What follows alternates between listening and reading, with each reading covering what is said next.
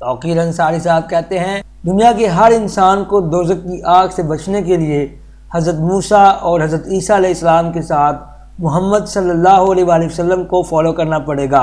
हज़रत आदम इस्लाम से लेकर जितने भी पैगंबर आए हैं, सबका एक ही मैसेज था, अल्लाह का कहना मानो और उसकी इतात करो। बुराइयों से बचो और भलाई का हुक्म दो और किसी भी इंसान को, चाहे वो कोई पैगंबर ही क्यों ना हो, अल्लाह के साथ शरीक ना बनाओ।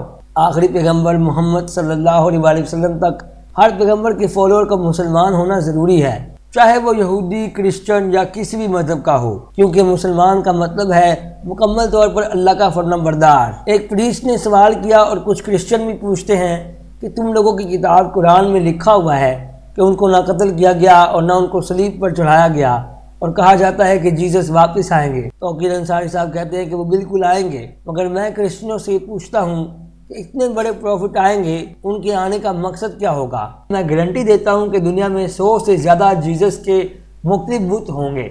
मगर एक भी बुत हज़रत ईसा इस्लाम से मुशाबियत नहीं रखता होगा, क्योंकि वो सब झूठ हैं और पंद्रहवीं सदी में अपनी तरफ़ से तस्वीरें बना ली गई हैं। पहले हम ईसा इस्लाम को पैगंबर की हैसियत से उनके करेक्टर को सोचें। जैसे हम जानते हैं कि प्रॉफिट के आने का मकसद होता है लोगों को अल्लाह का फरम बरदार बनाना और बुराइयों से रोकना।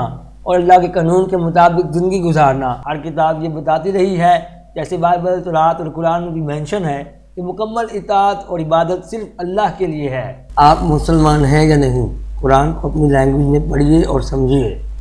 और मज़ीद इन्फॉर्मेशन के लिए हमारी site think Allah dot com को विज़िट करें।